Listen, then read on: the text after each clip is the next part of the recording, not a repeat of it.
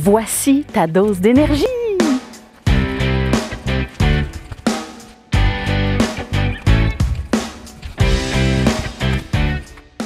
T'attends après quoi?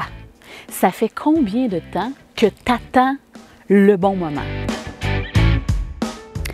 Que les enfants vieillissent, que tu aies plus de sous, que ça ralentisse au travail, que ça soit lundi, que ça soit janvier, oh, que ça soit mercredi. La meilleure, que tu aies plus de temps. Arrête de trouver plein d'excuses. Bouge, bouge, bouge.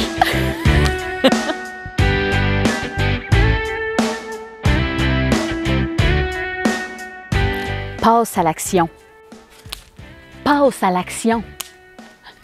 Imagine si tu t'étais déjà mis en mouvement les dernières années. Tu aurais déjà atteint tes objectifs santé?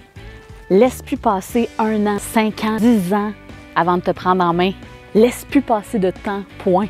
Prends-toi en main. Maintenant, là, arrête d'attendre. Vas-y, passe à l'action.